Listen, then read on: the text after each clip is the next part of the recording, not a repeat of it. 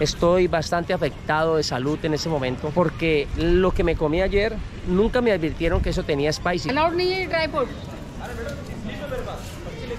वो इसकी स्लिप है ना इससे आप वीडियो बनाइए ऐसे खड़ा करके मत बनाइए Mide 72 metros de altura, es que es enorme, pero es una belleza. Esto no es cualquier ruinas ahí, que una torrecita, no. No, la UNESCO lo nombró como patrimonio cultural histórico de la humanidad. Esta es la tumba de uno de los comandantes del emperador Kutuk. Hola amigos, bienvenidos a un nuevo video de Gabo Trip.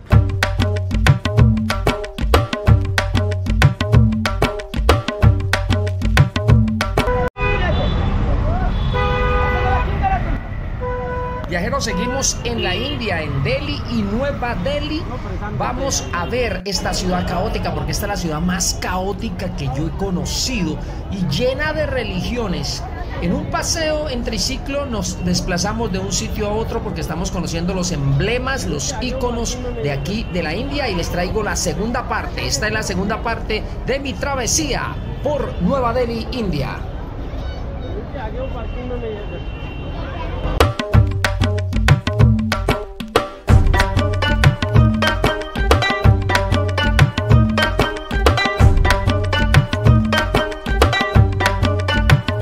En la India, cosas curiosas, cosas espectaculares que estamos viendo aquí en Nueva Delhi. Aquí ya estamos en Nueva Delhi. Estuvimos en el viejo Delhi, en un mercado muy exótico, muy particular, ustedes lo vieron, y ya dimos el salto en el contraste, porque ese es un contraste entre la Nueva Delhi y la vieja Delhi. Y aquí hay unos choques culturales impresionantes. Es un muro parecido como al del el Arco del Triunfo o de París o el que hay en Barcelona y algunas otras ciudades de Europa. Lo construyeron los británicos después de la Primera Guerra Mundial en honor a los soldados caídos. Y al igual que en el Arco del Triunfo en París hay una llama ardiendo todo el tiempo en honor a esos soldados que cayeron en esa guerra, tanto los indios como los británicos. Y hacia atrás, dos kilómetros hacia atrás, queda la casa del presidente, el palacio presidencial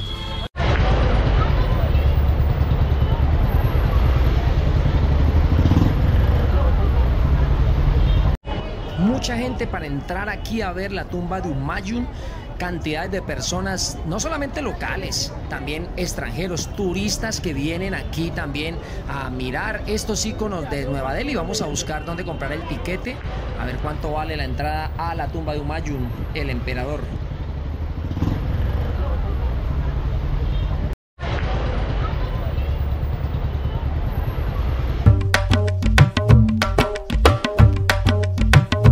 Me encuentro en la tumba de Humayu, uno de los emperadores antiguos, que mandó a construir su propio mausoleo tipo palacio parecido al del Taj Mahal, palacio muy bonito, y murió en 1556 bajando unas escaleras, unas gradas se cayó y falleció. Pero ya le había dicho a su esposa dónde quería que lo enterraran y qué quería que le construyeran y la esposa lo complació. Este lugar es como un sitio de peregrinación aún para los locales, vienen para buscar algo espiritual con la tumba de Humayu. Aquí en la India se acostumbra acostumbra venir a buscar el yo interior, la paz interior en medio de un mundo de preocupaciones. Entonces he venido a encontrar mi yo interior.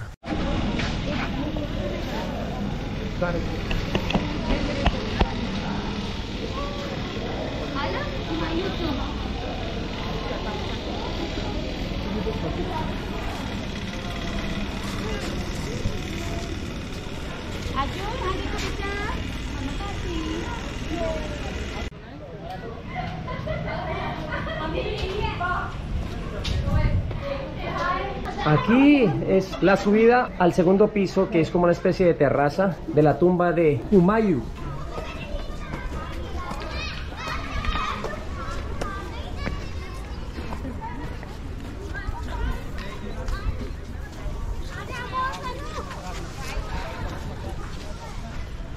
Un enorme palacio y allá adentro está el cuerpo, los restos mortales del emperador Humayu.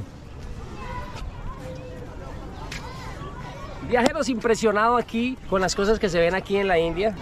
La tumba de Humayu, Humayu, sí, el emperador que murió cayéndose de unas gradas y le dijo a su esposa que le construyera el día que se muriera un palacio en donde pudiera conservar su tumba para la posteridad, para que lo recordaran. Era hijo de Baber, un emperador de Afganistán que llegó aquí a la India y aquí nació Humayu, pero murió en 1556, joven. La esposa se llamaba Bamida Bano Megan. Era la esposa que le hizo este palacio, esta tumba parecida a la del Taj Mahal. Humayu era tan buena persona, tenía un gran corazón. Ahí le construyó, le hizo construir a su barbero, su barbero personal, la tumba para cuando él muriera. Entonces ahí lo sepultaron. Por eso es que el barbero se convierte en el mejor amigo del cliente. Los barberos me entienden, los barberos me entienden. Muy bonita una arquitectura mongol, los mongoles, muy llamativa. Ahí están como unos alminares pequeños. Y les quería contar un dato. Este mausoleo palacio de Humayun no tiene alminares como el Taj Mahal que tiene cuatro alminares grandes. Esa es la única diferencia con este palacio, ¿sí? Y la otra diferencia es que el Taj Mahal, el Taj Mahal fue construido con mucho más dinero. Fue construido con materiales preciosos de mayor valor, como el mármol especializado, mármoles que solo los ricos podían acceder a él, piedras preciosas, materiales de muchísimo valor, pero igual, unos más que otros, esto no deja de ser descrestante, flipante lo que hacen a la hora de hacer un mausoleo, una tumba, pues para un emperador nada menos y nada más. Resulta, amigos viajeros, que Delhi es una de las ciudades más contaminadas del mundo y como tiene 17 millones de habitantes, imagínense cuántos carros, cuántos coches pueden haber aquí. Me decía el guía, en cada familia pueden haber 4 y 5 autos, 4 y 5 coches. La contaminación es por el parque automotor, el smog de los vehículos y eso hace que el ambiente, cuando tú miras el aire, es gris casi todo el tiempo, todo el día, gran parte del año. Dice que en noviembre y diciembre, no sé qué tendrá de particular, parece que es cuando más contaminado está esta ciudad. Impresionante todas las cosas que nos encontramos aquí choque cultural sí hay, quería comentar. Estoy bastante afectado de salud en ese momento porque lo que me comí ayer nunca me advirtieron que eso tenía spicy, que tenía picante. Y el picante de la India es más poderoso que el de México. Dicen que un mexicano no soporta el picante de aquí. Imagínense, imagínense el tamaño de la situación. Y entonces anoche que me sirvieron la cena, me comí como cinco cucharadas. No, me puso malo, malo, malo. Eso me estaba quemando por dentro. Ni el agua ni un helado que me metí me sirvieron para mejorarme Hay que tener cuidado aquí porque hay choque cultural la gastronomía. Hay que tener mucho cuidado con eh, las especias. Allowed नहीं है dry fruit वो इसकी स्लिप है ना इससे आप वीडियो बनाइए ऐसे खड़ा करके मत बनाइए hello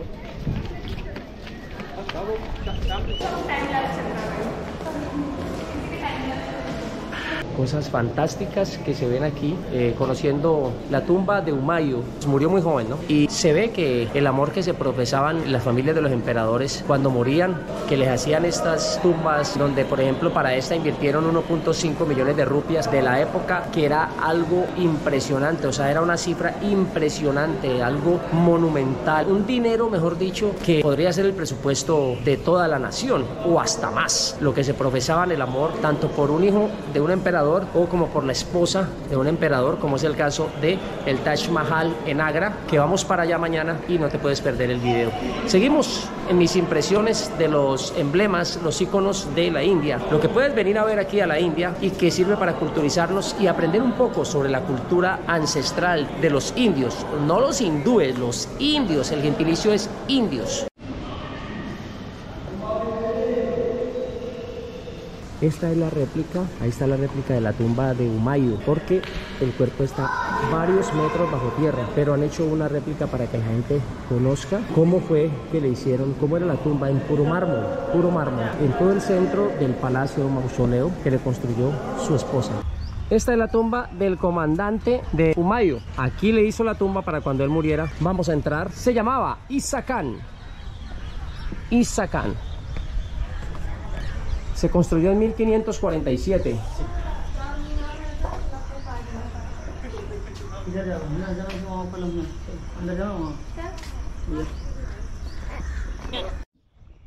La tumba de Isa el comandante del emperador Humayu. Una pequeña mezquita al lado de la tumba de Isa el comandante del emperador Humayun. Después de conocer la tumba de Humayun, nos vamos para otro icono de Nueva Delhi que es patrimonio histórico de la humanidad, Qutub Minar. Impresionante la cantidad de gente que hay aquí, parece como si estuviera uno en un partido de fútbol saliendo de un estadio. ¡Qué gentío tan bravo!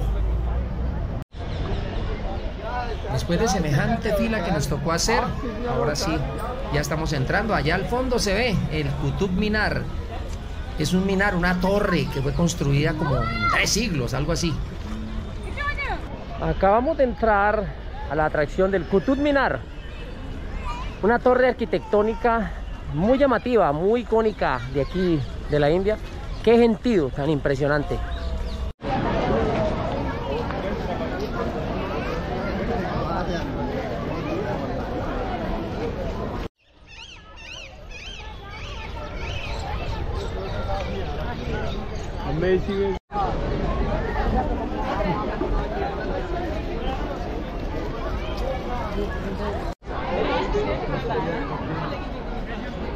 72 metros de altura, 14 metros es el diámetro de ese minar arquitectónico muy aforado, muy buscado. Mire esto como está de lleno.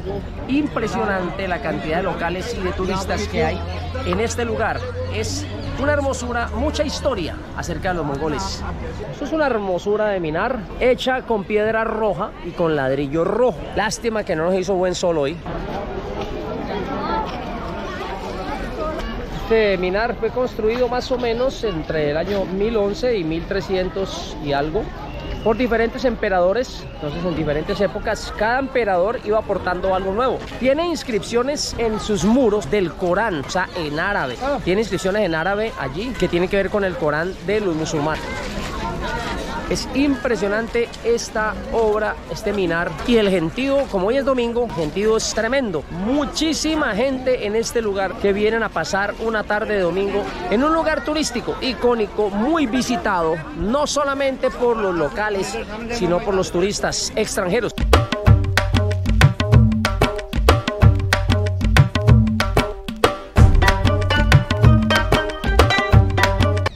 Se llama Kutuk porque así se llamaba el primer emperador que lo empezó a construir. Después siguieron otros emperadores aportando su granito de arena y elevándolo, elevándolo hasta llegar a esos 72 metros. Muchas ruinas aquí en el Qutub Minar, muchas ruinas, mucha historia sobre los mongoles de la época por allá del 1011 después de Cristo. Tres siglos más o menos se construyó todo esto. El tiempo lo ha ido deteriorando, el clima, todavía se conservan cosas para que pueda hablar y decirnos de la historia, qué tanto, qué tanto hicieron, la forma de pensar de los mongoles, la forma de pensar de los otomanos, la forma de pensar de los musulmanes los musulmanes tienen mucho que ver en la arquitectura del Medio Oriente y de esta parte de Asia. Estamos pero flipados con todas estas cosas exóticas, la arquitectura que se ve aquí. Y miren, esa belleza de minar. Esto es una chimba de viaje, esto es una chimba de plan.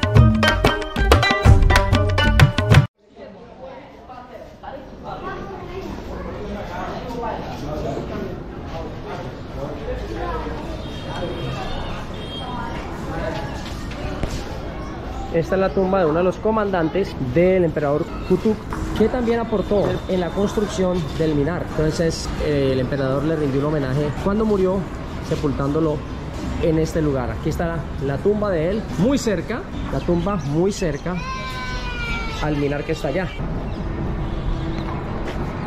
Un emperador llamado Alauddin quiso construir un minar más alto que el otro, pero hasta ahí lo alcanzó a hacer murió y nadie más continuó su obra. Hasta ahí quedó y ahora pues son, son ruinas de un minar que pudo haber sido el más alto de la India. Y aquí estoy terminando este recorrido por los emblemas, los iconos de Nueva Delhi y Delhi en la India. Si te ha gustado lo que has visto, vamos, suscríbete, dale like, nos vemos en una próxima ocasión. Sean felices, Gabotril les dice, estamos en la India.